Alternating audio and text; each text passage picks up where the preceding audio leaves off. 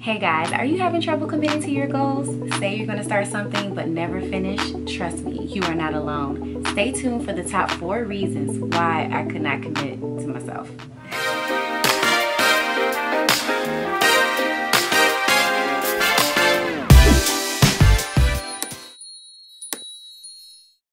I would just make a bunch of excuses up for why I couldn't commit. And for that reason, I didn't want nobody in my business. Like, stay over there. Get out of my business. Okay. If it's your first time watching, welcome, boo. I'm so happy to have you here. Make sure you hit that subscribe button, hit like on this video, and also hit the notification bell so you can stay up to date with all of my content.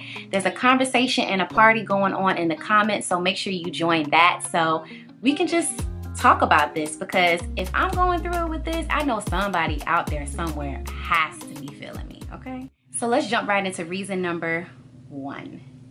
Every committed relationship requires trust. And in order to trust someone, you have to know them. So when I asked myself this question, my initial answer to this was, of course I know me. Like nobody knows me better than I know me. But something wasn't lining up in the self-esteem department. When it came to committing my goals, I just didn't have the confidence I needed to push through. I will say the first 25 years of my life, it felt like I was just going on autopilot.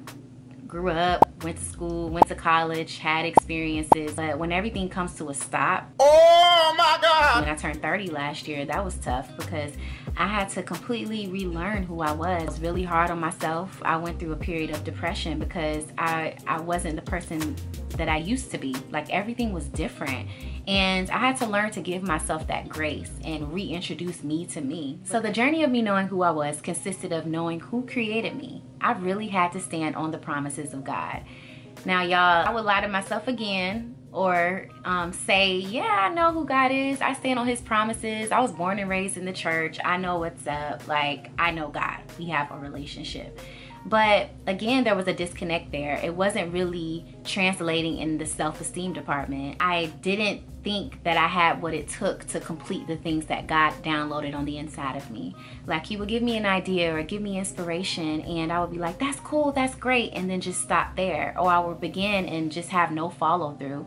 And I feel like for me personally, that's a slap in the face to God because God said, number one, I formed you in your mother's womb, which means that he knows everything about me. He made me with intention. So if he downloaded something into my heart, he knows that I have what it takes to carry it out. And I had to keep replaying that in my head because the the fear, the doubts, the insecurities would just hover over me when it came to completing something that I thought was just too big for me to handle. But if God gave it to you, he knows that you're not going to have to do it on your own. He's going to give you what you need to complete it and carry it out boom. He has a plan and a purpose for me, which means he has a plan and a purpose for you too. This little thing, this thing that he's downloaded into you, whether it be a business or going back to school or whatever it is, it's a part of the bigger plan and purpose. He's shaping you, molding you, cultivating you to do exactly what he's called you to do. He's not gonna fail you, he's not gonna humiliate you. So I had to replay those things over and over again in my head so I'll be able to carry out what needed to be done. Committing to yourself requires confidence. So no matter how things may look on the outside, you have to know who you are and walk in it.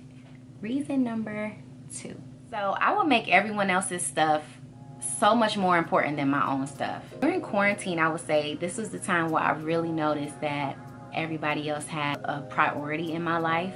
I really um, made everyone else's situations, their issues, everything much more important than my own. There were a lot of things that I had avoided for so long, a lot of deep rooted issues that had not healed that I just would ignore by busying myself. So everything has a root. Now your root may be different than my root, but here is why I was so much more accommodating to other people, unresolved and unhealed trauma. So yeah yeah i just avoided um, some things that have happened in my past that really damaged my self-esteem that really came to destroy like who i was. I just pushed that to the side. I detached myself from it. I sought out validation from others. Being accommodating to someone made me feel needed and wanted. And you know, if somebody was going through a difficult situation, helping them solve their problem, for a second it made me feel like I was solving my own. And y'all, please don't be like me. That's not the way to handle it. If um, if you've noticed that you've been overly accommodating and your life is just falling apart, there's a root there. I really had to sit down. I had to get into therapy. I had to do the spiritual work. Like I had to unravel all that junk so I could heal. Once I was able to really get to the root of that, I'm still doing that work so I could break that toxic cycle. Now, if this is something that you're dealing with, just know that if you ain't right, ain't nothing right. You are the CEO of your company. If you're not together, nothing is together. Reason number three.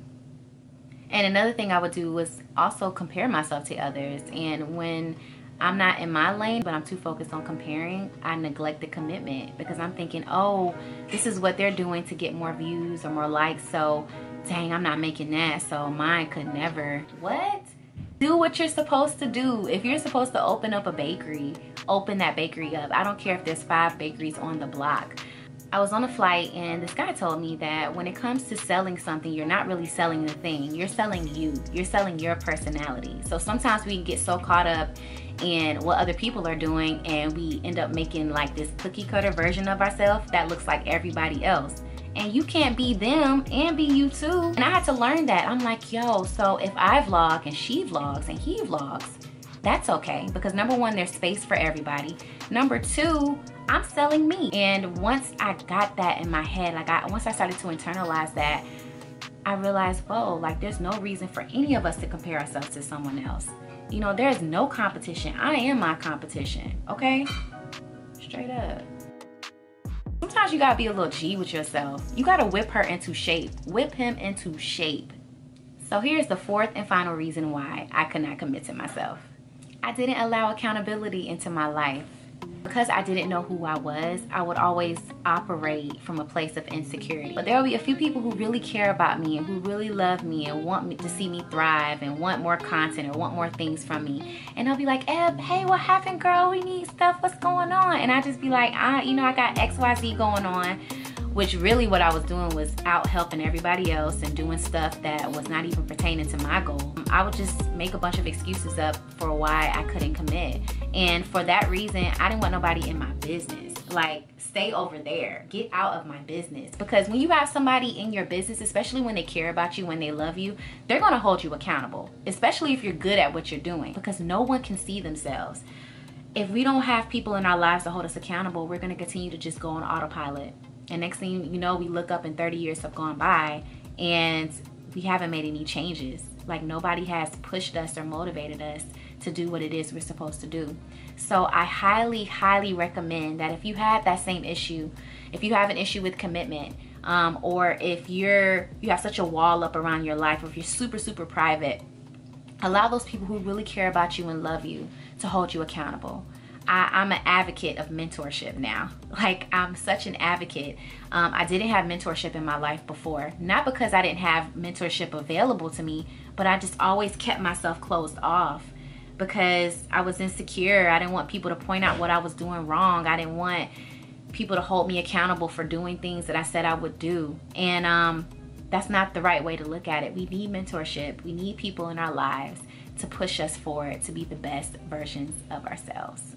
So that's all that I have for you guys today. If you like what you saw and it was your first time visiting, please do not forget to hit the subscribe button. I would love to have you stick around. But hey, if you don't want to subscribe yet, go ahead and watch another video.